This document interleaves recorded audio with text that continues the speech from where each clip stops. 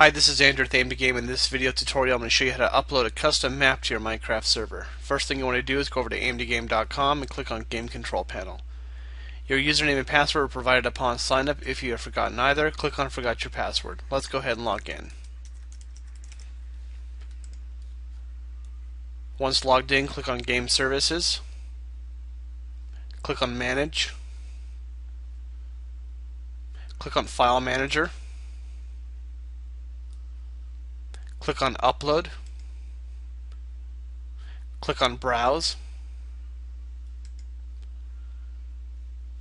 Locate your map. In this case here, it's on my desktop called world2.zip. RAR files will work as well too. Click Open. Click on Upload.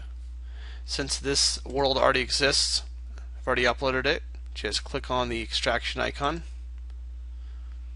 World has been extracted go up to the top here, go to configuration files, click on text editor under server.properties,